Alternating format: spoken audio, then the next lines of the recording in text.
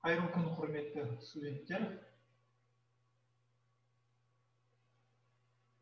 Қазақстан республикасы білім және ғылым министрлігі қарағанды техникалық университеті алты б бойынша жүргізушілер металлургия модульдік білім беру бағдарламасы бойынша металлургия маманы студенттер үшін машина жасау факультеті нанотехнологиялар және металлургия металлургия өндірісінде қалдықтарды қайта өңдеу пәні бойынша слайд дәріс авторы техника ғылым магистрі аға оқытушы айтбаев нұрлан берікұлы.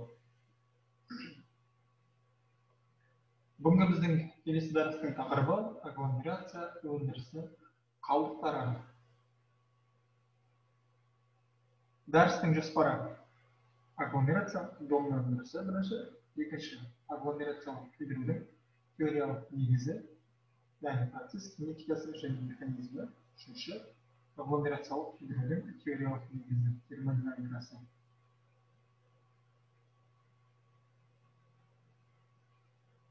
агломерация домна өндірісі агломерация домна өндірісі домна пештерінде балқыту үшін кен шикізатын әзірлеп шойын шығарады агломерация өндірісінен және домна цехындағы қарағанды металлургия комбинатында агломерация өндірісінің құрамында ұнтақтау сұрыптау фабрикасы бір мың тоғыз жүз алпысыншы жылы нөмір бірінші бір мың тоғыз жүз алпыс үшінші жылы нөмір екінші бір мың тоғыз жүз жетпіс бесінші жылы агломерация және құрғату бір мың тоғыз жүз жетпіс үшінші жылдары цехтары осы жылдар аралығында ашылған болатын фабрика агломерат шығару үшін қажетті материалдарды қабылдап оларды ұнтақтау орналастыру және сұрыптау жұмысын жүргізеді сондай ақ роторлық вагон аударғыш қоймалары бақылау бөлімшелері бар екен бірінші цехтағы к үш жетпіс бес агломерациялық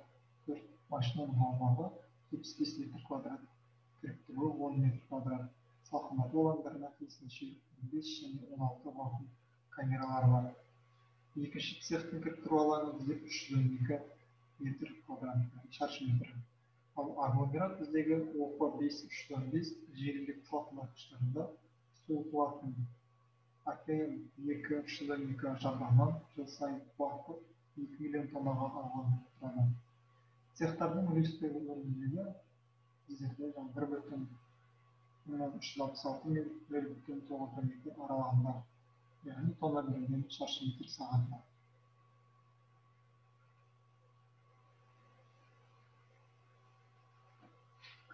агломераттардағы темір мөлшері цехтар бойынша тиісінше қырық сегіз бүтін оннан екі және қырық алты пайыз болатын. Атасу сокол сарыбай бірінші цехтағы лисаковка екінші цехтағы кен орындары рудаларының концентраттары кіріктіріліп жиналады.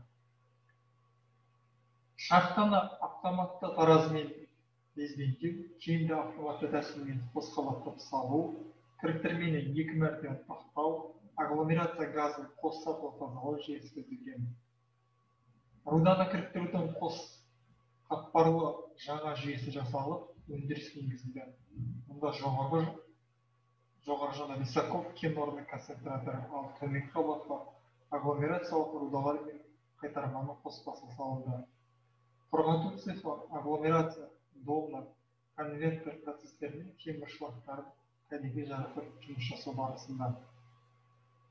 Оныншы тарамды және он төрт дөңгелек қоюлатқышы таспалы он екінші вакуум сүзгіші шиыршық он екі сырттағышы бар. Ал біздегі келесі схемада көрсетілетін болады. Атасу және кеңтөбе кен орындарының құрамындағы темірі тиісінше елу тоғыз бүтін оннан алты және алпыс алты пайыз құрайды. Руда концентраттарын жеткізу нөмір бірінші агломерация цехын қайта құру және нөмір үшінші агломерация цехын салу көзделіп отыр. Домна цехы темір рудалы шикізат агломераты шикізат агломераты руда жиынтегімен қоспаларды қайрат балқытуға негізделген. Отын ретінде домна пешін рудамен бірге жоғарыдан толтырылатын кокос қолданылады. Балқыту кезінде алынып металлургия комбинатының мартин және конвертер цехына жеткізілетін сұйық шойын болат өндірісі үшін басты шикізат болып табылады. Отын ретінде домна пешінде рудамен бірге жоғарыдан толтырылатын кокс қолданылады. Балқыту кезінде алынып металлургия комбинаты мен мартен және конвертер цехына жеткізілетін сұйық шойын болат өндірісі үшін басты шикізат болып табылады. Құрамында бір жарым төрт жүзден жиырма бес пайыздай кремний бар. Шойын құйма өндіру үшін пайдаланылады. Балқыту кезінде шлак калашник газы мен тозаңы тәрізді қосымша өнім алынады. Шлактың жетпіс бес пайызы түйіршікке айналдырылып цемент зауыттарына жөнелтіледі домна газы отын есебінде комбинаттың өзінде қолданылады.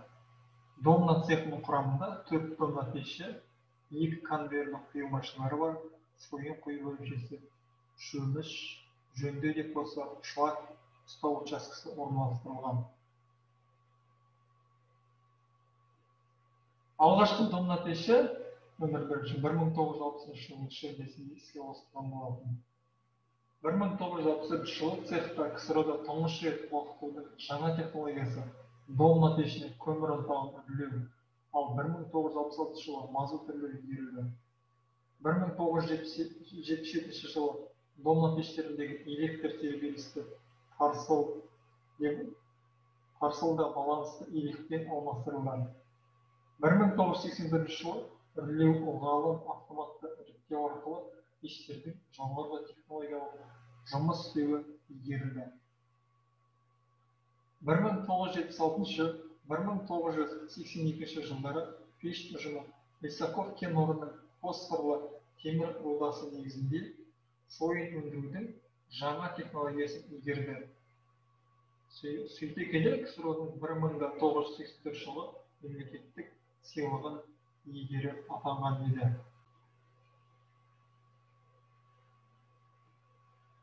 Домна цехында қазақстанда көптеген металлург кадрлар тәрбиеленді. Солардың ішінде қазақстан республикасының өздеріңіз білесіздер тұңғыш президенті нұрсұлтан әбішұлы назарбаев бургов ксро мемлекеттік сыйлығы бір мың тоғыз жүз сексен төртінші жылы бұрханов душин бір мың тоғыз жүз сексен екінші жылы минкес бір мың тоғыз жүз сексен төртінші жылы қазақ кср мемлекеттік сыйлығының адам юсуп социалистік еңбек ері атағысының он бірінші сыйланған ксро жоғарғы кеңесінің депутаты ие болған. Бір мың тоғыз жүз тоқсан бесінші жылдан цементау бұрынғы ысқақ кармен акционерлік қоғамы құрамында. Ал екі мың үшінші жылы нөмір үшінші домна пеші күрделі жөндеуден кейін қайта іске қосылған болатын. Осы салтанатқа яғни екі мың үшінші жылы қаңтардың он төртінде және тұңғыш шойын алудың қырық жылдығына орай қазақстан республикасының байырғы домнашы нұрсұлтан назарбаев қатысқан болатын.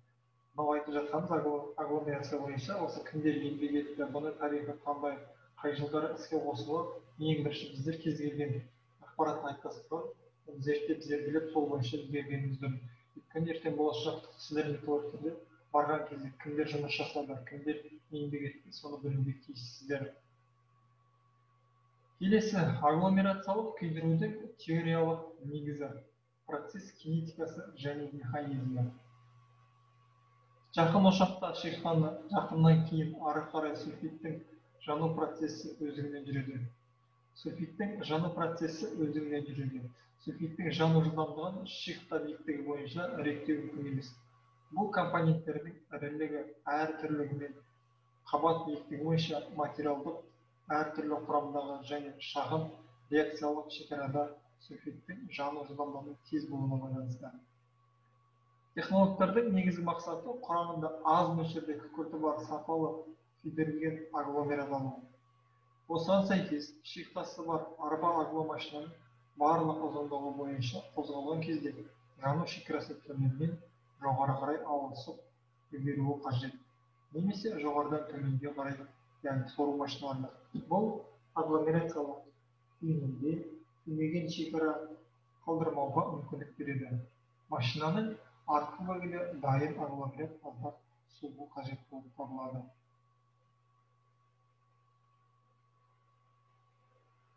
Машинаның ортаңғы бөлігіндегі яғни сору машиналарында күйінді агломераттың орналасу шекарасы орнатылады.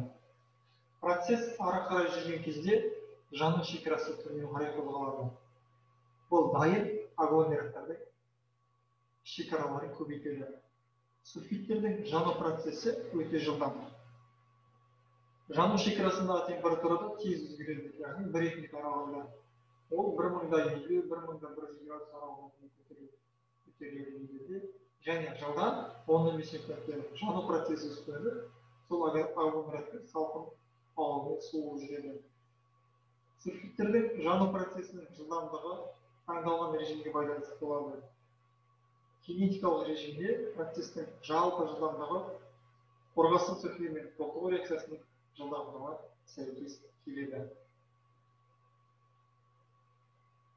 қорғасын сульфидінің тотығы әртүрлі тотықты плюстер қосқан кездегі кинетикасы дене зерттеледі табаны темір тотығы және кремезеңдікі тотығы жылдамдығына жақын кальций тотығының тотығының жасалған табандағы тотығынан төмен бұл материалдың сұйық сульфидіне сіңірілуіне байланысты бұл қорғасын концентратын агломерация процесіне әсер етеді агломашинадағы агломашинадағы жаңағы қорғасынның сульфидін толтыру механизмі туралы бір тек шешім болады мынау ғалымдар атақты жаңағы шишков плосков және тағы басқалары осы қорғасын концентрациясын агломерациялау процесіндегі сульфидтердің қатты фазалы толтыру механизмін зерттеген қорғасын сульфидінің балқу температурасы бір мың бір жүз жиырма жеті градус яғни жанып жатқан қабаттағы максималды температурадан бірнеше есе екен. Сонымен қатар темір мырыш және мыс сульфидтердің де балқу температурасы да жоғары. Бұл агломерация кезіндегі сульфидтердің жану процесін олардың қатты күйде толтыру түрінде қарауға болады. Осы осы көзқарасқа байланысты үрдіс яғни алты жүз тоғыз градус температурада интенсивті түрде жүреді. Түзілген тотықтар төменгі балқу температурасына ие болады. Жердегі балқу температурасы жаңағы сегіз жүз сексен градус аралығында. Сұйық тотықты фаза кремезімен әрекеттесіп силикатты балқыма түседі оны реакцияласпаған қатты цементтейді қатты фазалы тотығу теориясы бойынша қорғасын тотығы агломератта бөлшекті түрде бос пішінде және силикатты түрде болады. Тотықтың бір бөлігі феррум екі о үш әрекеттесіп феррум яғни әрекеттесіп қорғасын филингін түзеді. Қарастырылып жатқан схемадағы сұйық фазаның мөлшері күйдіру шекарасындағы температура және қорғасын мөлшеріне байланысты. Құрамында қырық екі пайыз қорғасыны бар. Бай агломератта сұйық фазаның мөлшері елу пайыз. Ал құрамындағы жиырма тоғыз отыз пайыз кедей агломератта орташа орташасында отыз қырық пайыз аралығында. Сульфидтің сұйық фазасының түзілуі десульфизация дәрежесімен төмендетеді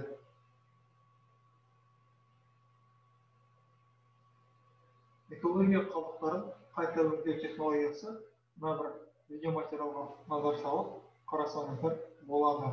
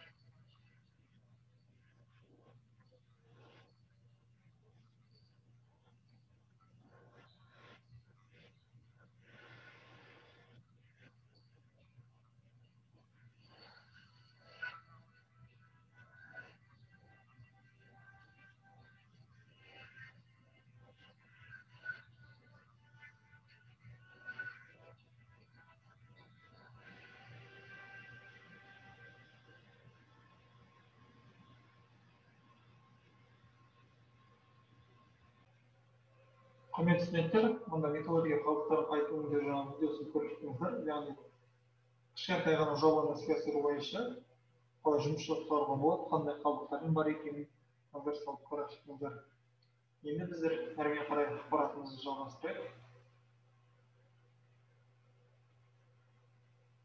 Келесі біздегі агломерациялық күйдірудің теориялық негізгі термодинамикасы. деген қорғасын концентратын агломерациялық күйдірудің термодинамикасын талдау үшін агломерациялық күйдіру шихтасының құрамындағы негізгі элементтердің берілуі шихтаның негізгі элементі білесіздер қорғасын. Шихтада оның концентрациясы өспен және қайтарма агломератпен араластырғаннан кейін жиырма елу бес пайыз аралығында болады. Агломерация шихтасының құрамындағы қорғасын келесідей ресурстары түрінде болады яғни қорғасын сульфиді қорғасын концентраты құрамында болады. Қорғасын силикаты қайтарма агломератпен түседі. Қорғасын сульфаты. Қорғасынның мырыш кескінінде болады. Қорғасын тотығы шаңмен бірге түсуі мүмкін сонымен қатар қорғасын аз мөлшер шифтағы целлюстит буланжирит дженсонит жүзеге асады төмендегі осы жаңағы формуламен жасалып көрсетілген болатын агломерациялық күйдіру шехтасының құрамындағы мырыш солерит цинкум және шаршарит цинкум эспен феррум эспен көбінісі минералдары түрінде көктегі феррит жаңағы цинкум о мен феррум оксидінің көбінісі түрінде мырыш тотығы түрінде болады. Шихта құрамында аз мөлшерде бұл металдық сульфатты силикатты және басқа қосылыстар болады. Шихта құрамында темір сульфид түрінде болады. Яғни пирит феррум есекі пиротин феррум халтаперит купрум есекі және мармарит бұлар концентратпен бірге түседі. Мырыш ферритті түрінде және темірдің негізгі қышқылды түрінде болады. Қайтарма агломераттан түсетін үш валентті тотығы түрінде болады. Егер шифтағы құрамындағы темірі бар плюс енгізсек онда темір гематит феррум екі ош түрінде болады. Мыс шихтасында сульфид түрінде болады. Купрум екі ес халькозин халькопирит купрум екі. Және кавелин купромес қайтарма кетте мыс негізінен күкірт қышқылды тұз және гидрат түрінде болады. Бірақ кекпен келетін мыс мөлшері аз. Қорғасын концентратының құрамындағы кадмий сульфиті кадмий түрінде болады. Қайтарма шаңдарында кадмий тотық немесе сульфид түрінде болады. Термодинамикалық талдаулар яғни сульфатқа бай өнім күкіртті газ концентрациясы жоғары болғанда және төмен температурада яғни алты жеті градус аралығында түзіледі. Қорғасынның тотығы аз қысымдағы жаңағы сегіз мың градустан жоғары температурада берік болып келеді. Агломерацияланғанда плюмбум с плюмбумы жүйесіндегі тұрақты тепе тең жоқ. Себебі тоғыз мың градустан жоғары температурада оксид пен сульфид арасындағы тұрақтылық бөлінген. Қорғасын концентратын агломерациялауды келесідей қорытындылауға болады. Яғни процестің температурасы бір мың бір жүз градустан төмен болмауы қажет. Екінші. Реакция шекарасынан күкірттегі газдарды жылдам шығарып отыру қажет. Үшінші. Реакциялық шекарада оттегі жетіспеуі салдарынан металдық қорғасын түзіледі сондықтан процесс оттегіні артығымен қолдану қажет. Төртінші. Агломерациялық шехтасының құрамына қорғасынды кекпен бірге қорғасын сульфанатын енгізсе төменгі температурада көптің толық жанбауына әкеледі.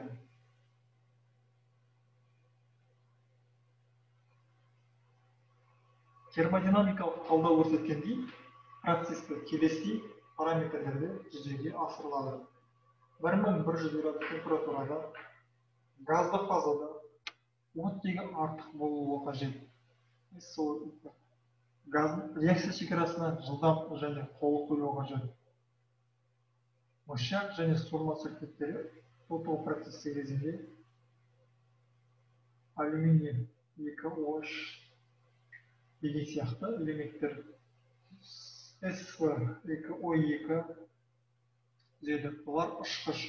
Сонымен қатар келесі реакция түзіледі көз алдарыңызда көрсетілген реакциялардың қосындысы оттекпен ондағы түзілетін нәтижесі яғни мысалы кадмий ұшқыш арсенипелиттің диссоциациясы кезінде түзілетін металдық мышьякта осы температурада өте ұшқын осыған сәйкес термодинамикалық талдау көрсеткендей агломератты кадмийден мышьяктан және тағы басқа сомадан кедейлендіру қажет. Ал шаңда бұл элементтердің концентрациясы жоғары болу қажет.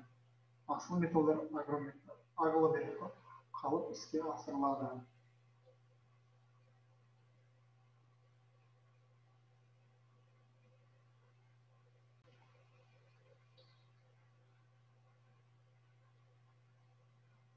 студент пен оқытушының студенттің өзіндік жұмысы үшін бақылау сұрақтары көрсетілген ең бірінші сіздердің назарларыңызға осы агломерация долбар өндірісінің қолдану аясы агломерациялық күйдірудің теориялық негізі сондай ақ агломерациялық күйдірудің теориялық сараптамасы көрсетілген болатын мына төменде қолданылған әдебиеттер бар осы әдебиеттерден қарап шықсаңыздар болады назар салып тыңдағандарыңызға рахмет